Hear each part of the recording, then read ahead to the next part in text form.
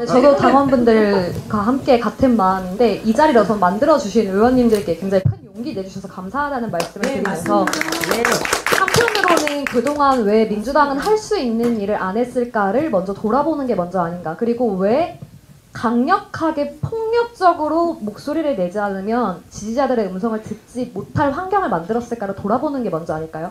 노무현 대통령이 추구하시던 정치가 나와 다름을 이해하고 토론하면서 함께 만들어가는 정치였잖아요. 그게 민주당의 가치잖아요. 지금 민주당 국회의원분들이 그런 가치를 추구하고 정치를 하고 있나?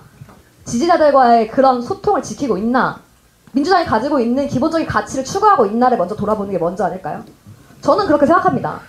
김대중 대통령이 말씀하셨던 행동하는 양심, 노무현 대통령이 말씀하셨던 사람 사는 세상, 문재인 대통령 말씀하신 사람이 먼저다. 그리고 이재명 당대표가 지향하고 추구하고 있는 억강 세상, 대, 대동세상 억강부야. 그 정신 다 일맥상통하게 이어진다고 생각합니다. 그게 다르지 않다고 생각해요.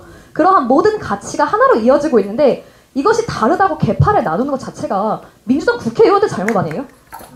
당원들은 지지자들은 다 같은 가치로 다 일맥상통하게 흐른다고 생각해서 함께 지지하고 민주당을 응원하면서 함께 가자고 외치는데 민주당 의원들 개개인이 민주당 내에서 자신들의 목소리, 자기 정치하고 싶어서 자기 의원 배지만 달면 되고 자기 지역 관리만 하면 되니까 그리고 그 바쁘잖아요.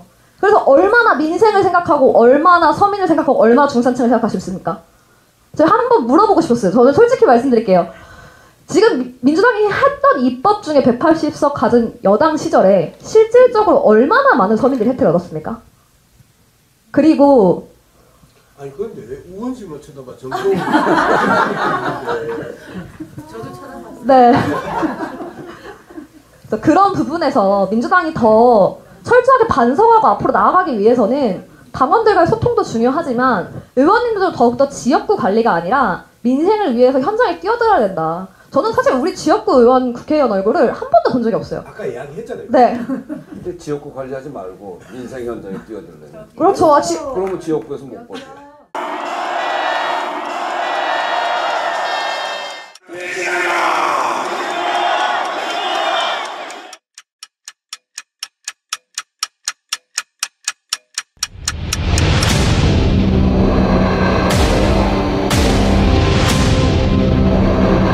정부에서 할 거는 마약 쏙보다 두들이 잡아야 돼. 일본한테 우린 당했는데도 우리가 힘이 없을 때 일본이 힘이 돼서 도움을 받은 적이 있어. 근데 우리가 일본을 이용해야 된다. 용산에는 용이 와야 돼. 열줄을 들고 와야 돼. 명백한 국정농단이죠. 천공이 답변해야 될 문제입니다. 상당히 이제 충격적이었죠. 그게 어떻게 가능하겠나 이렇게 반문을 했거든요. 한 말씀 해주세요. 나는 기자들하고 한 번도 안 김건희 여사하고 아직 연락하세요 지금요? 국정 운영에 천공이 개입한다고 인과관계를 보고 한번 찾아보도록 하겠습니다.